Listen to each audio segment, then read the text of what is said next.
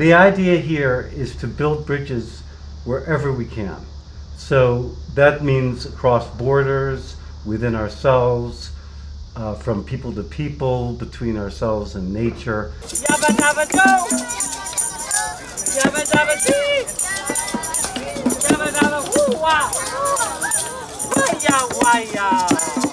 These perceived divides of, of, between people is as if people in another country are different than us and that we need to be afraid of them or uh, we need to protect ourselves from keep our resources protected, all these kind of things.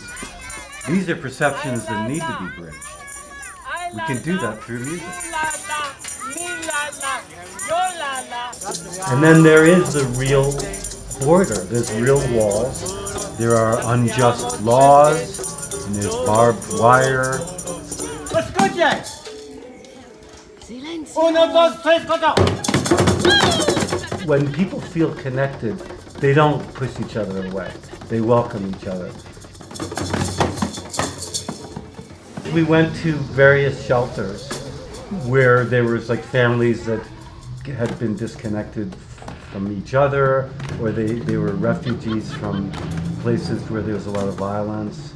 But when we started playing music together, the trauma was gone while we're playing music. You know, you see that.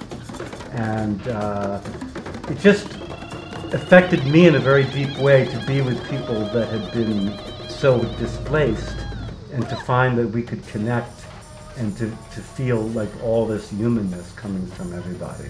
And then so I come back and I feel like we're bridging this border just by the very fact of you know playing music.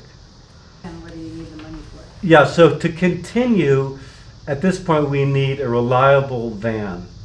And uh, I'm looking at these, there's these minivans, mini, well, they're cargo vans, but they're mini cargo vans.